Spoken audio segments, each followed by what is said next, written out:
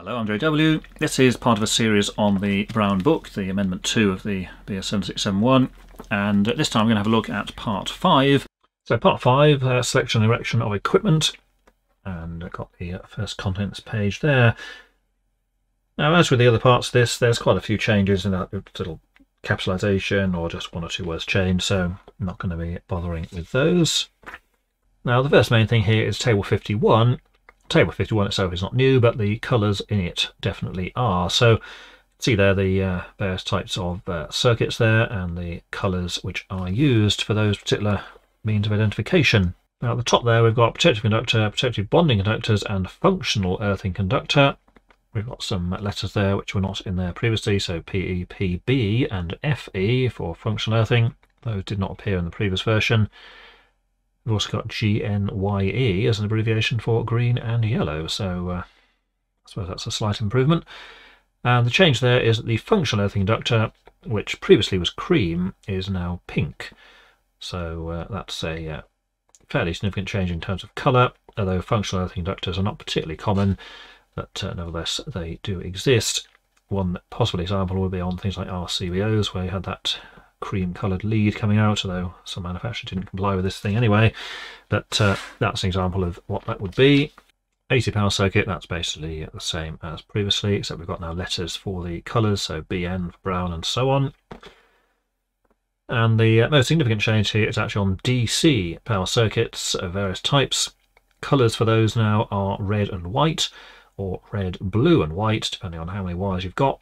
Previously these were brown and grey and brown, blue and grey, so red and white instead of brown and grey. And again, we've got the letters down there for the various other ones, so the letters are fairly obvious. They're not uh, particularly new in that. They've just been added to this table, so black for BK and green GN and so on. Now moving on to diagrams and documentation. Now diagrams things are always required, so nothing new there. But what is new is the piece here where we've got the requirements of this regulation need not be applied for domestic, which are household premises, or similar installations where certification for initial verification, complete with guidance for recipients as detailed in Appendix 6, has been issued to the person ordering the work. So things like diagrams and charts or tables and information about the types of wiring and circuits and all the rest of the stuff and all the things you would put on the consumer unit and that sort of thing doesn't necessarily have to be put there provided you've given somebody the actual proper certificates with all the information on it. So it doesn't have to be stuck onto the consumer unit anymore, it can just be given to them in the form of the certificate for the installation. And uh, 51492, this is a new one which didn't exist before.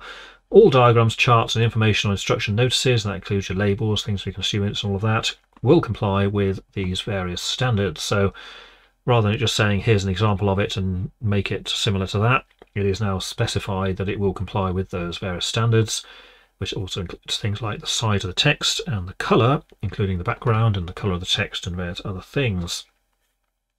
Now I've still got the uh, standard sort of labels and notices things here. They're all marked as changed because they've basically altered the size, and in this case, uh, important is in uh, all sort of lowercase there with capital I, where it was in capital letters previously. So Again, some adjustments there, but uh, nothing uh, too disastrous or world changing. One significant thing which has now gone away is what used to be 51414, that says here has been deleted. This was the one which said about non-standard colours, which essentially said this installation has wiring colours to two versions of whatever. Great care should be taken before undertaking extension, alteration, repair that all the conductors are correctly identified. So that useless label, which you stuck on the consumer unit saying, oh look, it could have old colours and new colours all mixed up, gone away. You don't need to provide it anymore.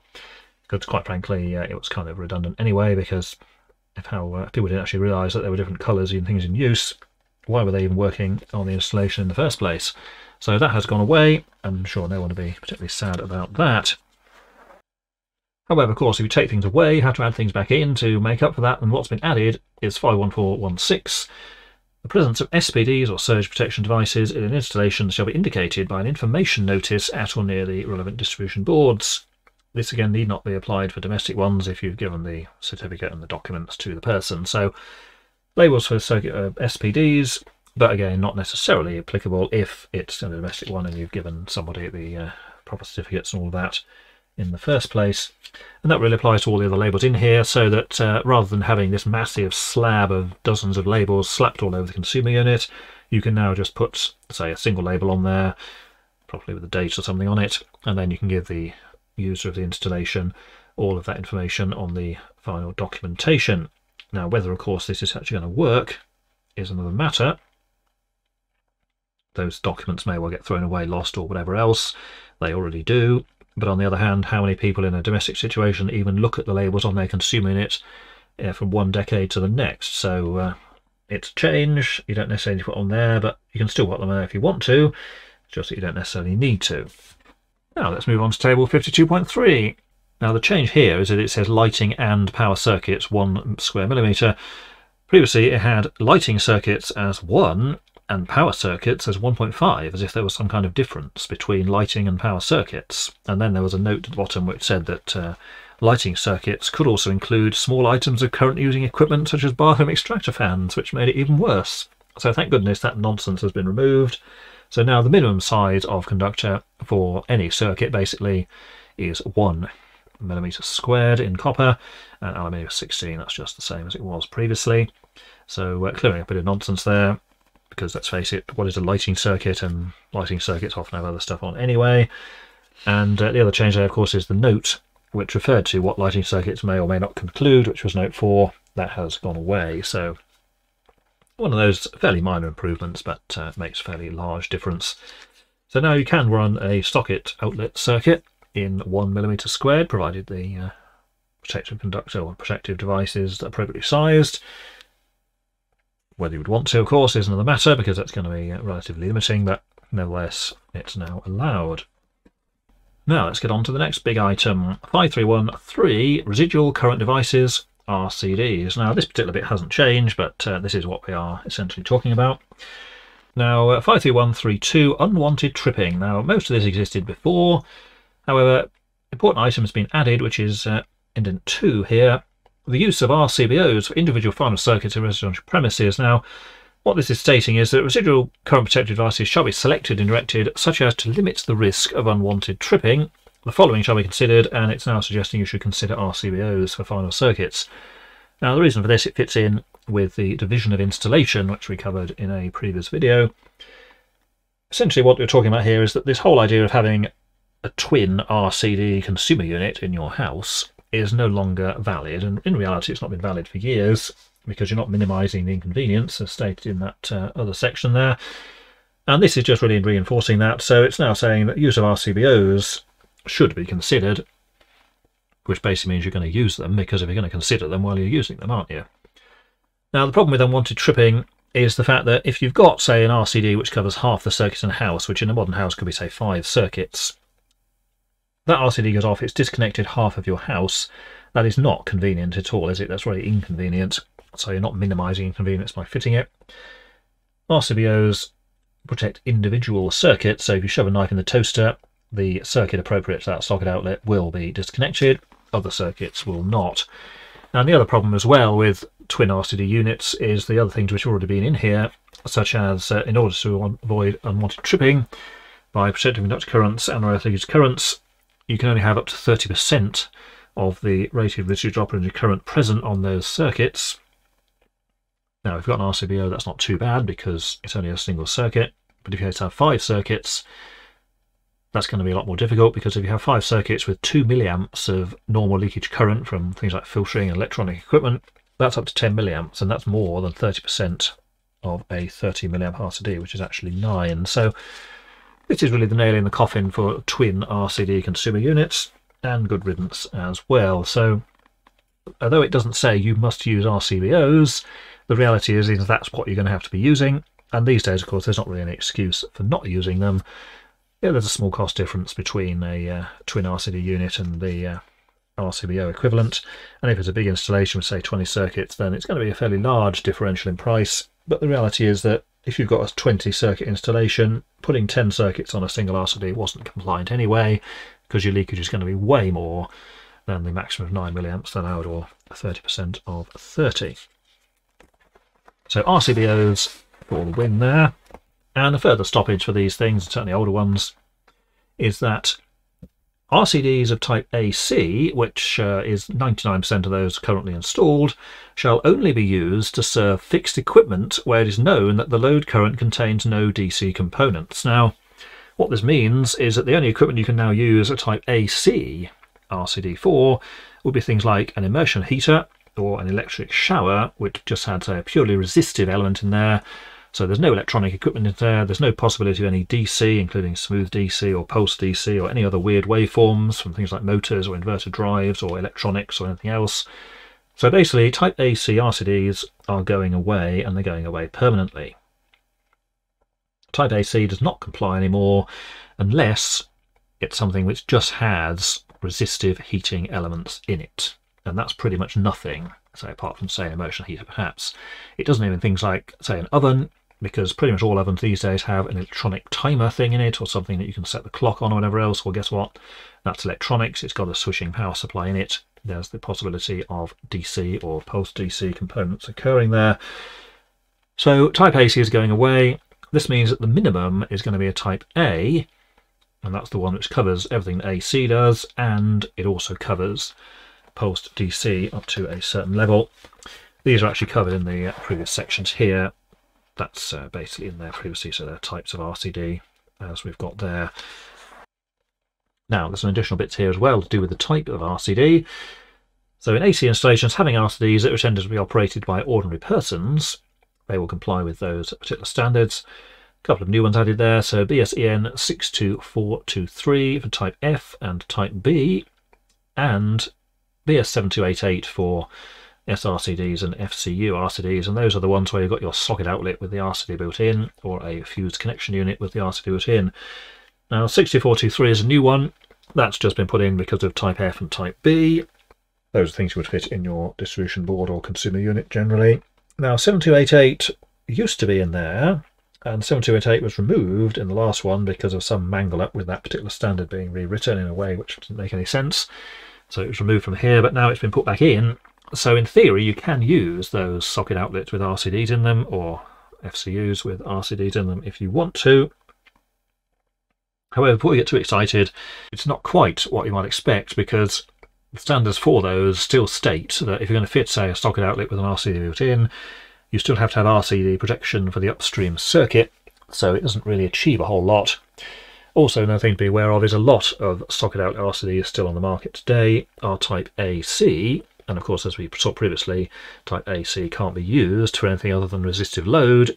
And of course, if it's a socket outlet, you've got no idea what somebody could plug in, so that kind of rules those out anyway. So are those 7288s back in, which might imply that socket outlets with RCDs in can be used. In reality, they're still not particularly useful or practical, so basically I suggest ignoring those and not bothering unless it is a very specific installation requirement that you need to have those as well. And the other thing as well, in certainly a domestic environment, sticking in a socket outlet with an RCD built in is kind of pointless because the circuit's going to need an RCD anyway, partially because the standard that says so, but also the cables in the wall are more than likely going to require it anyway, so it's a fairly irrelevant and uh, mostly spurious addition there.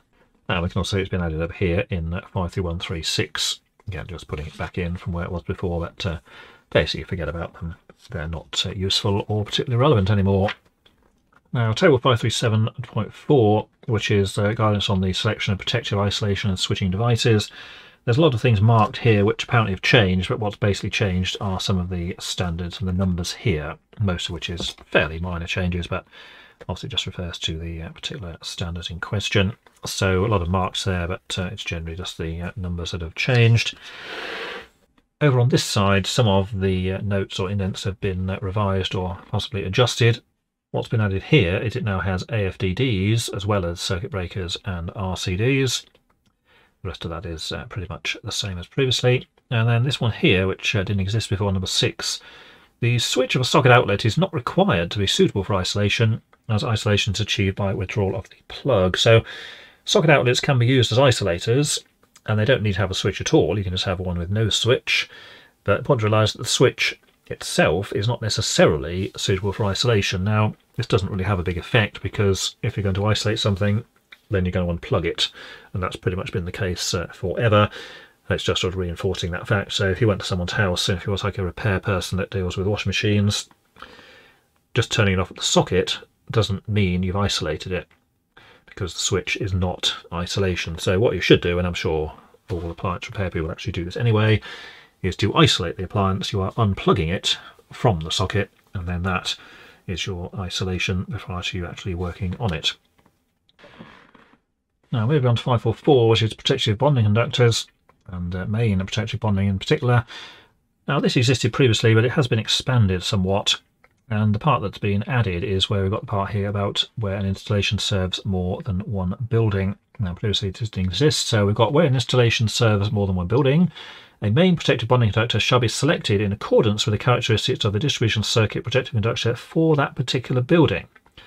The cross-section area shall not be less than 6 mm squared and not need exceed 25 if the bonding conductor is of copper or a cross-section area affording equivalent conductance in other metals. So this is where you've got an installation that covers several buildings and it's now per building rather than just at the main origin which is kind of what it was previously. Now table 55.1 which is about plugs and socket outlets below voltage circuits that's all the same. What's been added is this note. So USB charging ports, coaxial outlets, data outlets, HDMI and AV outlets are not regarded as socket outlets for the purposes of this regulation. This is fairly common sense, but uh, just sort of reinforcing the fact there that a, uh, a coaxial outlet for your television is not a socket outlet as referred to in the previous parts.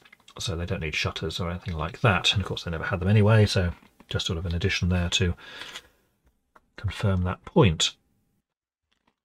And the final part about uh, in part 5 is uh, 56069. This is in the section about electrical sources for safety services. Now a couple of changes here. This change is basically changed to the numbering. It's now G98.